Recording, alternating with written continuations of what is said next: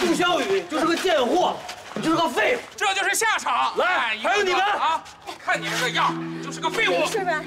来，还有你们，还有来。别打！哎哎哎！走！哎，走走！黄哥，冷静，黄哥。走！再说一遍。黄哥，别打！黄哥！再说一遍。别打他们！我我要报警。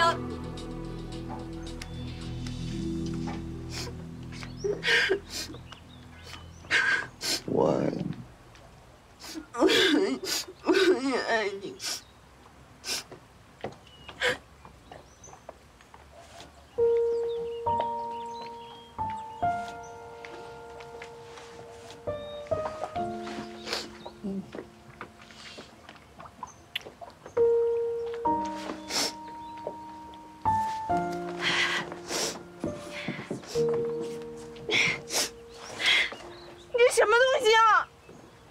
戒指的路上遇到一个西餐店，多顺了几包番茄酱。你有拿这种事情开玩笑的吗？老婆，你别生气啊！谁见过这种别具一格的求婚呢？对不对？混蛋！不是你扔戒指干嘛呀你？徐总，我都给你录下来了。行，你回头你发给我吧。好嘞，谢谢你啊。好嘞。谁呀？这么无聊，总打电话。喂，谁？小雨。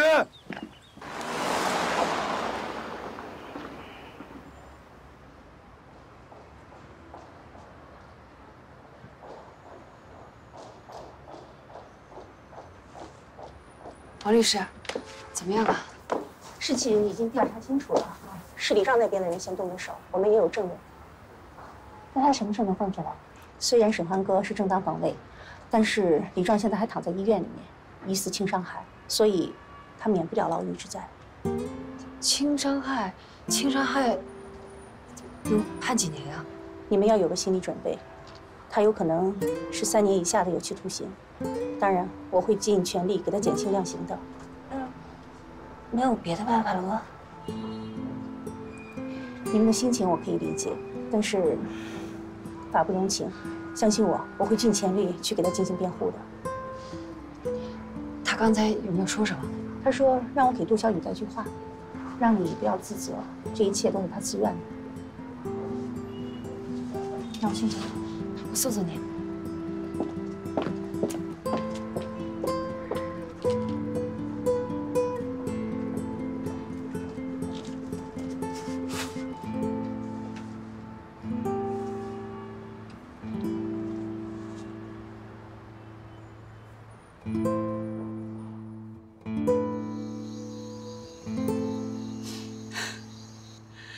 说我们家欢哥以后可怎么办呢？欢哥妈，别难过了，一年时间很快就会过去的。怎么能过去啊？我想想，孩子在监狱里吃不好睡不好，你说再让人欺负，我都不敢想。别这么想，欢哥这个人人好啊，不会受欺负的，你不用担心。哎呀，这个欢哥哈，从小你们是看着长大的，对吧？他和谁呀都是客客气气，从来没红过脸，更别说打架了。这次这不是为了小雨，给小雨出这个恶气，你说才弄成这样。我非常喜欢欢哥这孩子，欢哥能在小雨这关键时刻出手，欢哥是条汉子。那小雨是怎么想的？是啊，小雨是怎么想的？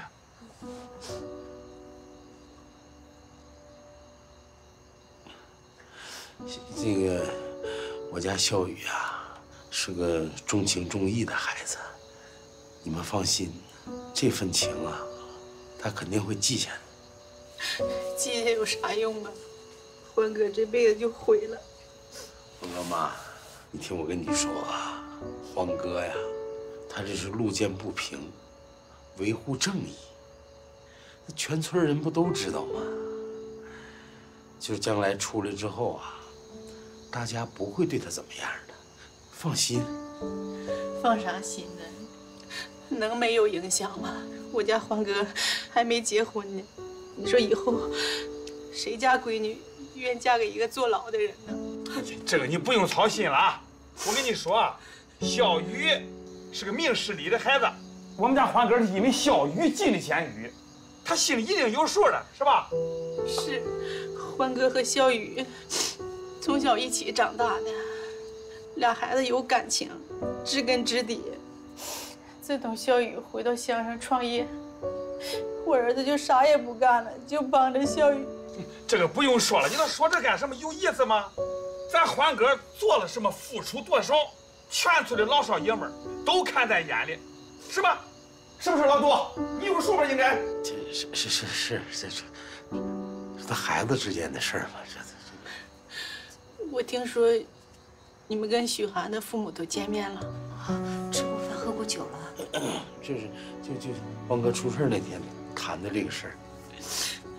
你说欢哥咋这命啊？把自己一辈子都搭上了，结果啥都没换回来。这事他要知道，肯定都不想活了。行了，你别哭了，好，别哭了，不哭了，不哭了。哎呀，我跟你说，你放心，老杜家人都是讲情面的，是吧？他们一定心里有数的。母亲啊，一个当娘的，你看多悲伤啊！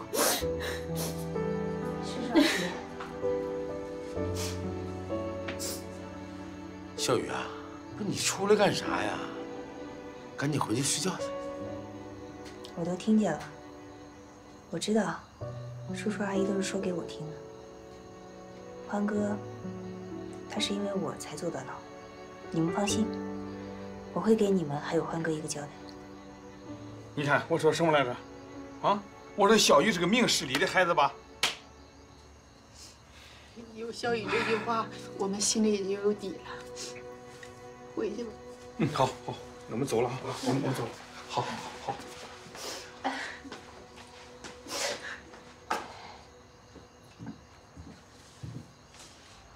好，好。蜃楼，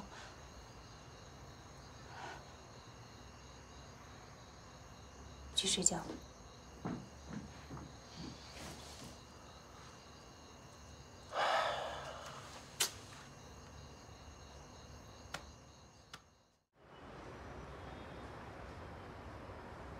我没事，我挺好的，放心吧。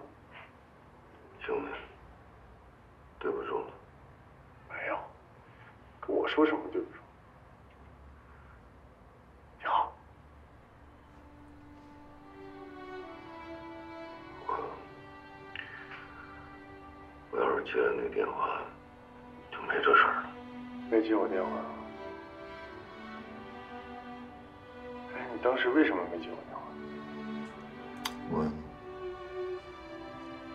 不重要，没接我电话挺好的。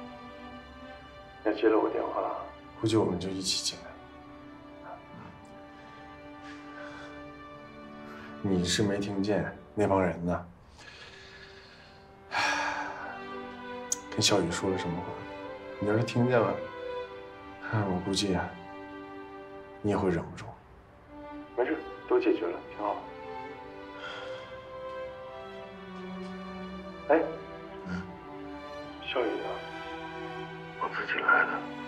跟他说。小雨那个事解决好了吗？解决好了。那就好。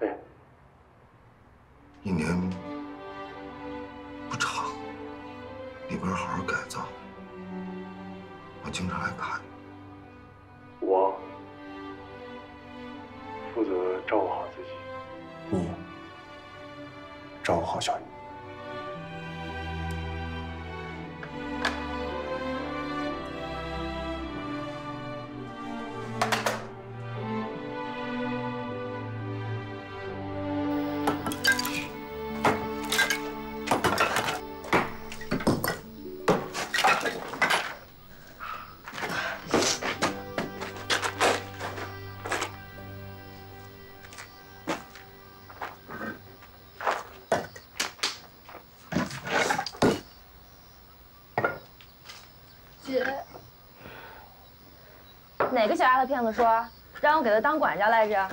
这会儿还算不算数啊？哭什么呀？嗯？谢谢你帮我，姐。你都叫我姐了，我还能不管你啊？我呀，帮你把这民宿开起来，你就安安心心等他出狱，不就一年吗？很快就过去了啊。我就是特别心疼沈欢哥。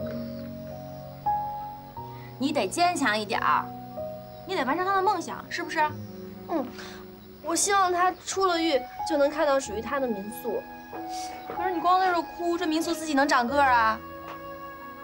干活吧。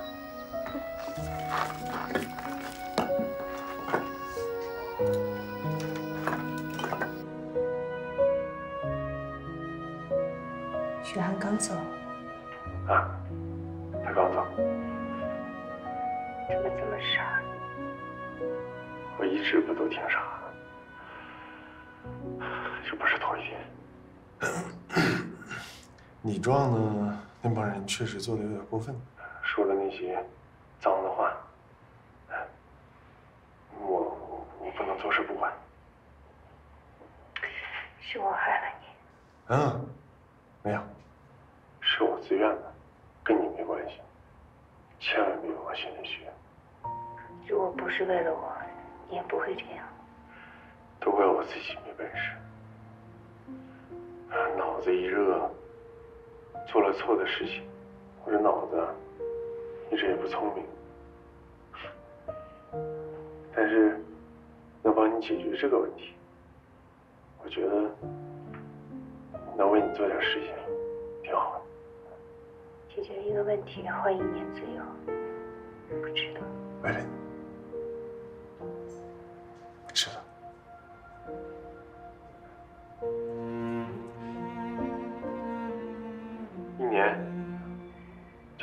时间，我好好改造，放心吧，啊。然后照顾好自己，按时吃饭。注意身体啊，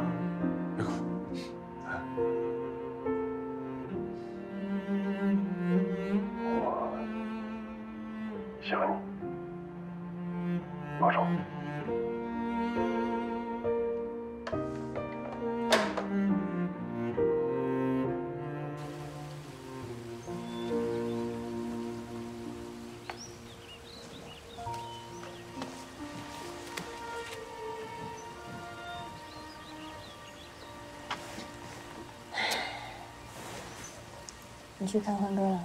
嗯，我也去了。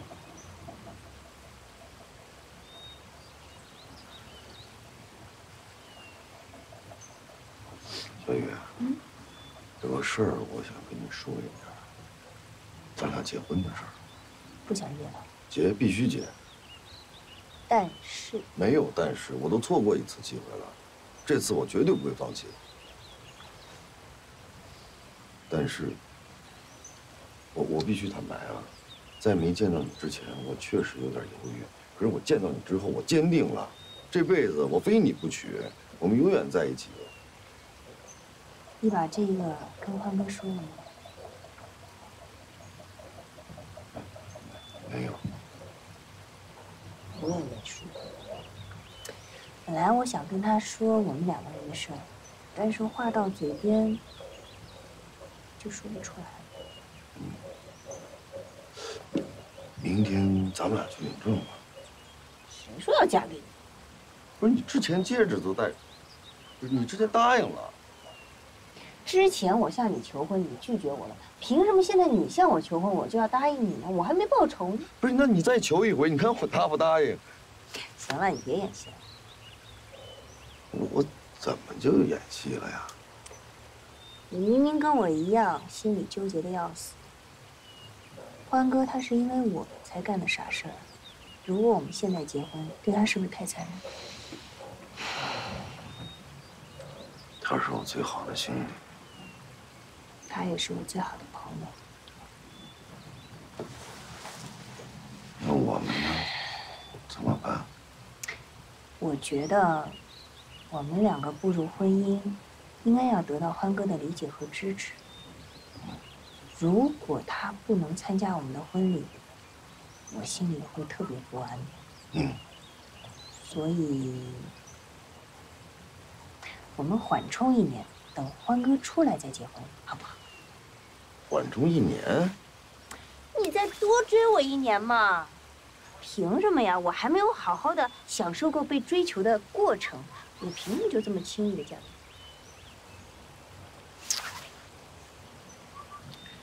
小雨啊，嗯，你真的是太善解人意了。你说我怎么那么有福气，能娶到这么好的一个人当老婆？别得意的太早啊！这一年里面，如果你对我不够好的话，这个情况还是很有可能发生转变的。你就看我表现吧。还有个事儿啊，我想跟你商量一下。你说。欢哥这边，我们可以为他暂时不结婚。嗯。但是能不能提前的、提前的？什么？感受一下已婚的待遇。你说什么呢？讨厌。不是，很正常的事儿。你要不要考考虑考虑？考虑什么？我刚才说那事儿。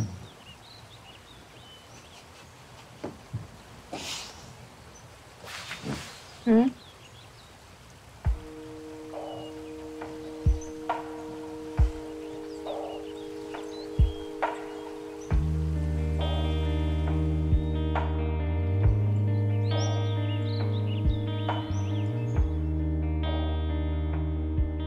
时间不会因为任何事、任何人而停滞不前，时钟摆动，正如我们行走的脚步，一刻都没有停歇。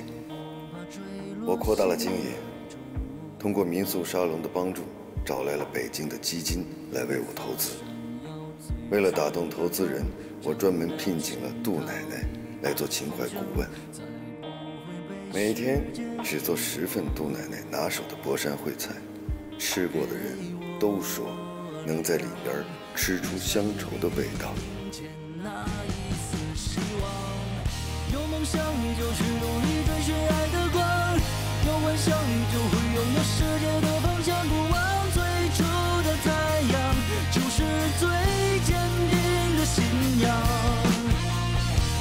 双眼也能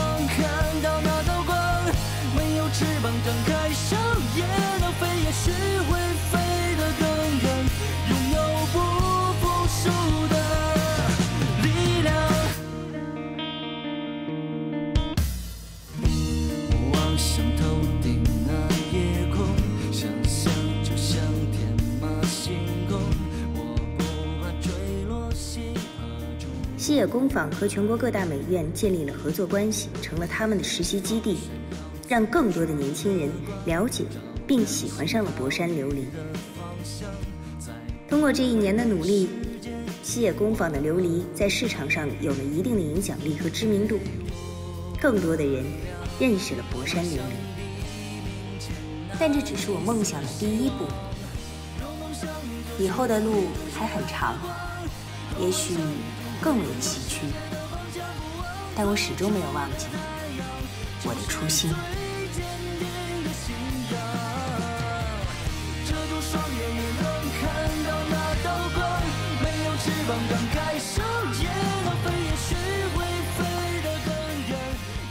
欢哥的民宿也开业了，小石当了老板，但他总是说，真正的老板是欢哥，他和廖春每天忙得不亦乐乎。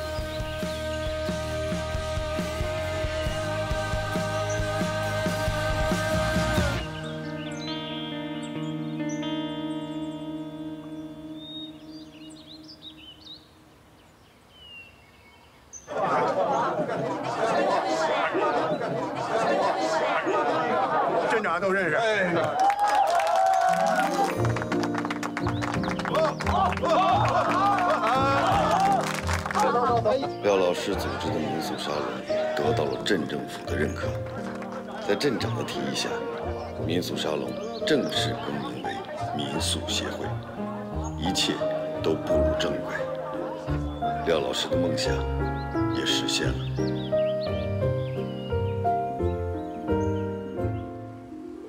我和小雨的感情很稳定，而且彼此更加珍惜这份来之不易的爱情。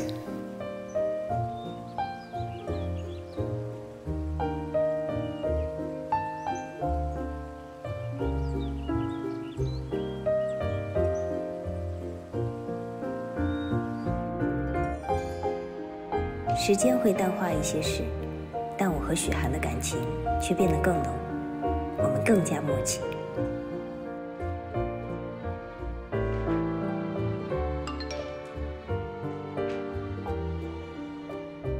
老婆，我想你了。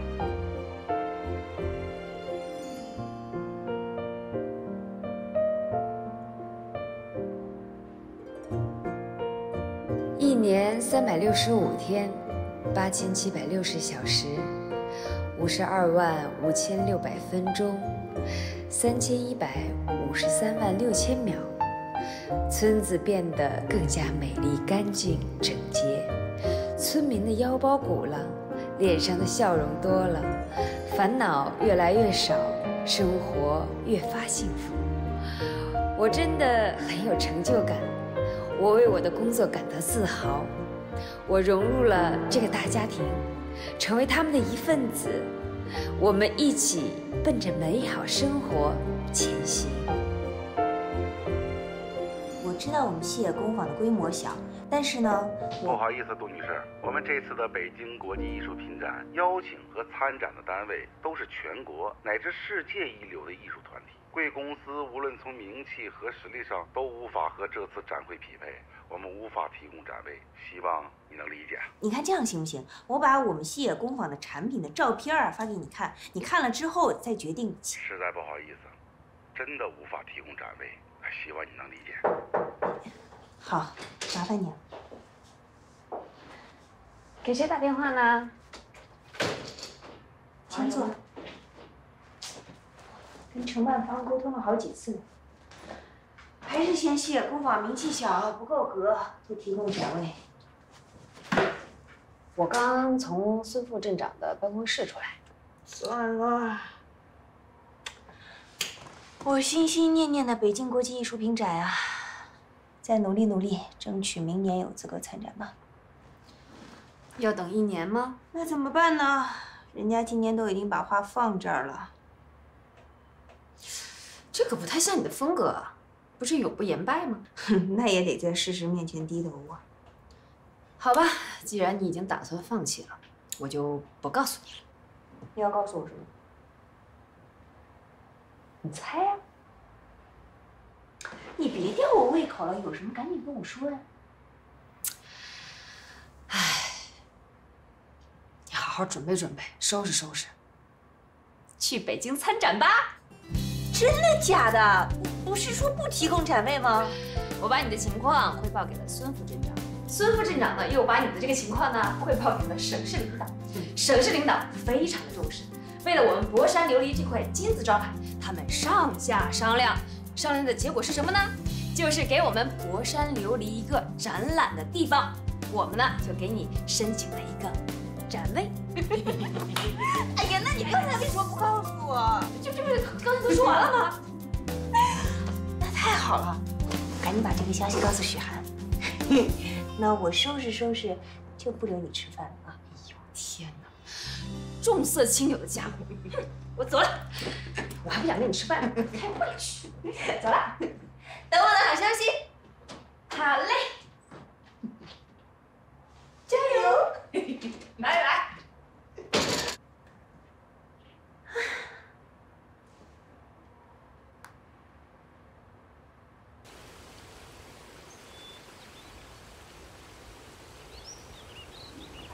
过几天，方哥可就出来了。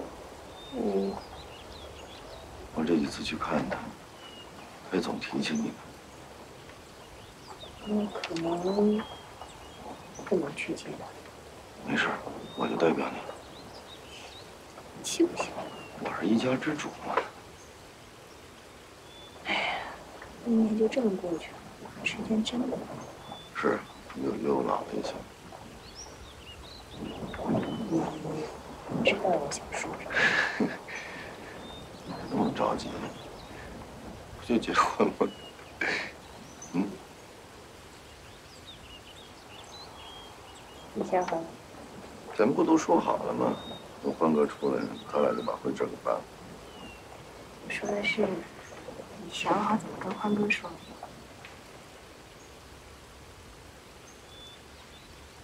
算了，还是等我回来吧。等我回来之后，我们俩一块儿回来。别别别别，别分心，我跟他说。放心，欢哥会理解，也会祝福。是，他是个懂事的孩子。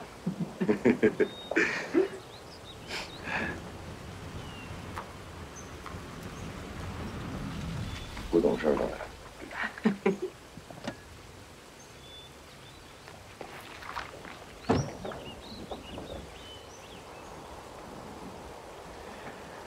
这孩子就不懂事了。我走了。没有没有！我跟你说啊，你到了北京，别再穿短裤还有裙子了啊。这么不放心我呢？我是不放心他们。我老婆长这么漂亮，谁见着不动心？哎，嗯，妈，这一戴，这我们还没结婚，彼此有选择的权。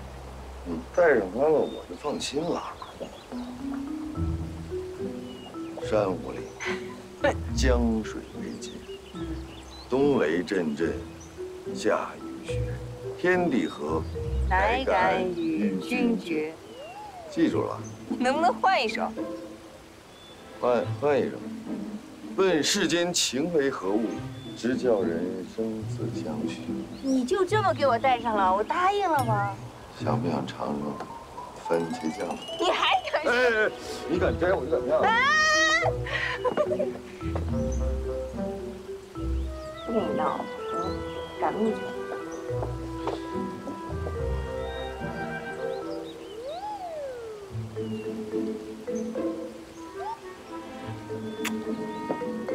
盖个戳，你心里踏实。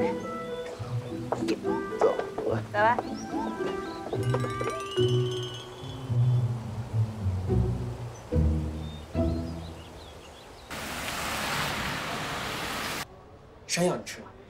点太多了。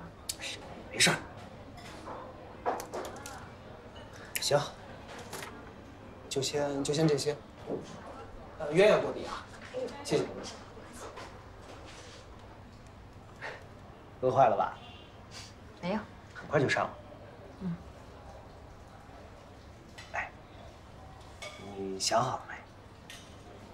吃完饭再说吧。别呀，我都等了好几天了，你赶紧告诉我吧。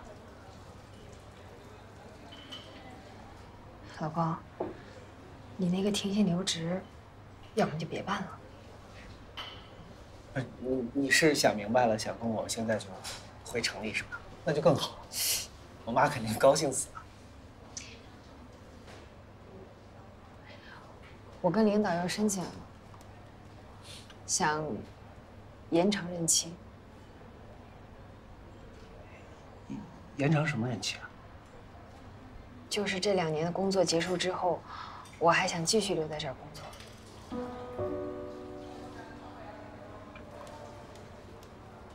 你还要工作多久？最多再两年。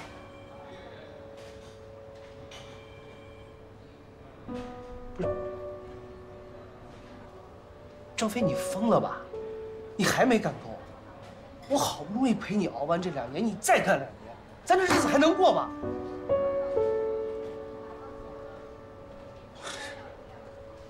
你先别着急，也别生气。我知道我现在跟你解释，也说不清楚。可他是我的工作呀，他也是我的责任。我既然要做，我就希望把它做好，我不希望半途而废。这个村子需要我，村民需要我，我真的不能走。好，他们需要你，我呢？行，就算你替咱妈想，你不替我想，孩子呢？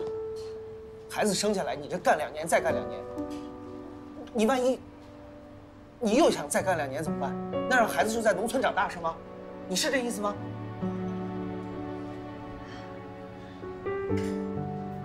这就是我现阶段的决定。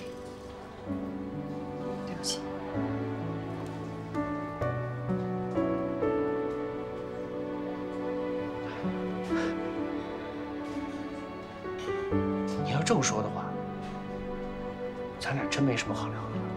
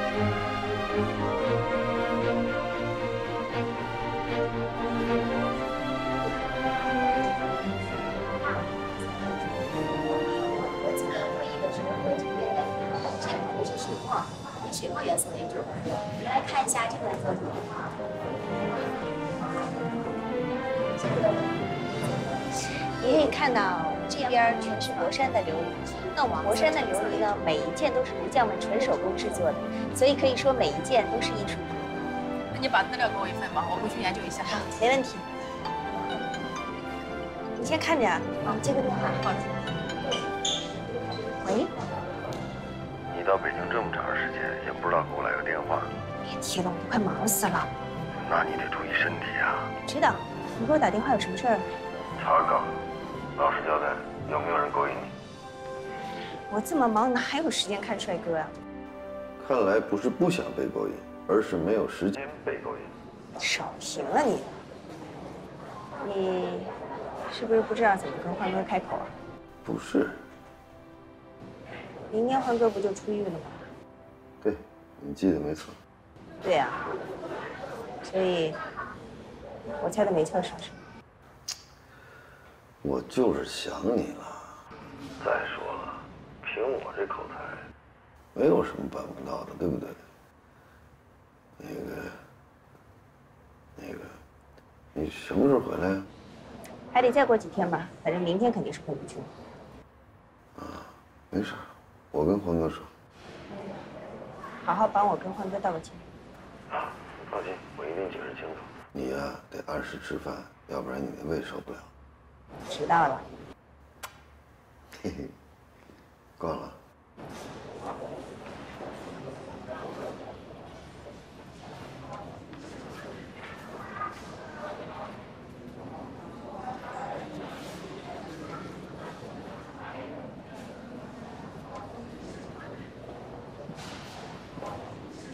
你好，有什么可以帮你吗？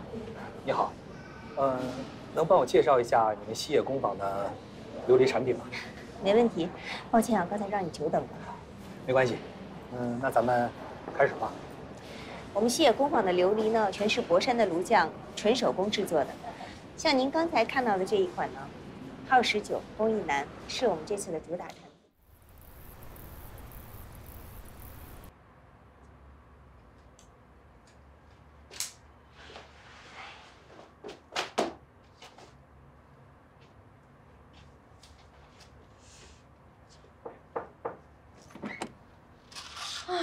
姐，你可算来了！你快看，我穿哪个好看？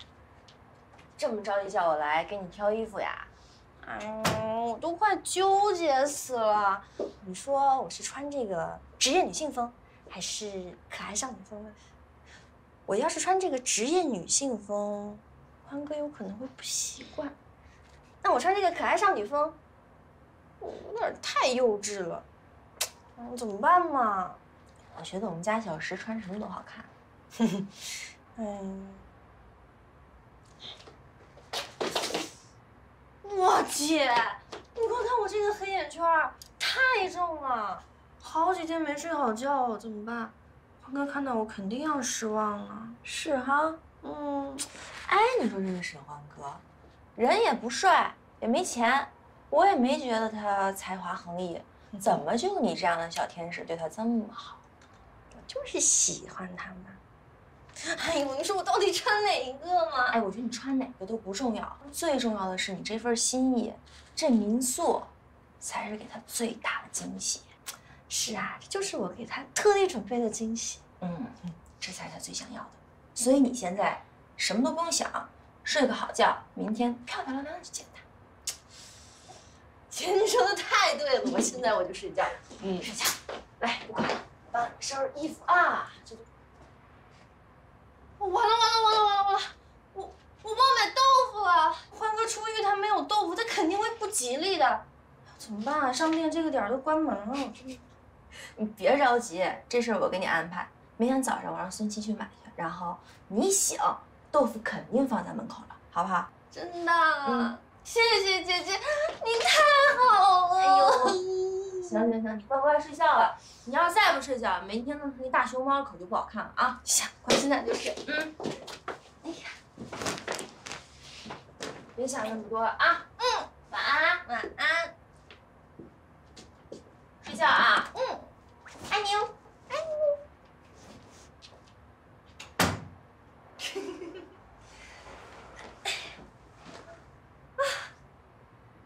沈欢哥，我明天终于可以看到你了，你一定也很想我吧？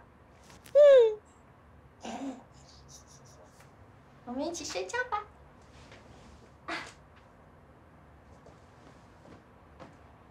嗯，别慌。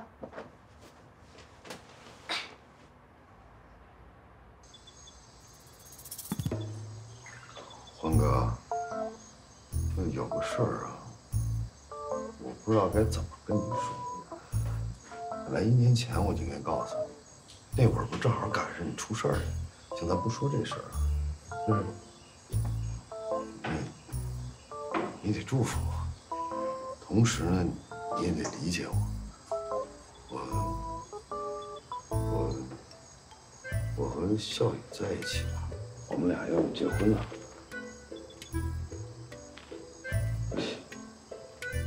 婆婆妈妈不能这么说。跟欢哥你呢？哎，兄弟，我不管你高不高兴，我跟笑宇在一起了，我们俩要结婚了，就这么简单。这太直接了。走点心行吗？欢哥，我给你讲一好事儿。定替我高兴，怎么个茬呢？就是我要结婚了，你猜猜新娘是谁？是老板，嗯，没事吧？我没事。嗯，那您这大半夜的，您这是？我挺好的，找我有事啊？呃，我没事，我就是大半夜听见有人在这嘟嘟囔囔的，我以为进贼了呢。那贼不是得喵么悄的吗？行了，你去忙吧，嗯。那你早点睡。哎哎，谢谢你。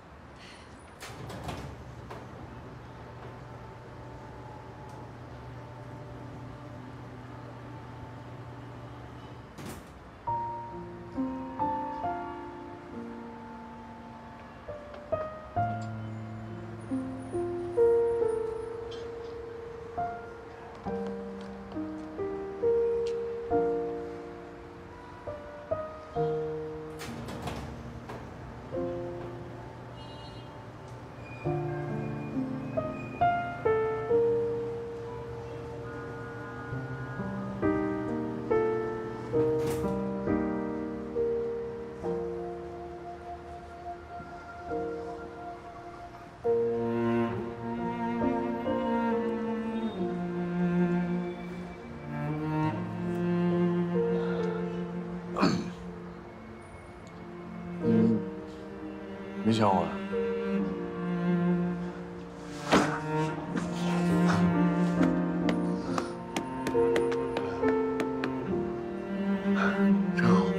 啊！出来的感觉真好，真好，真好，真好，真好，真好，真好。小石是怎么了？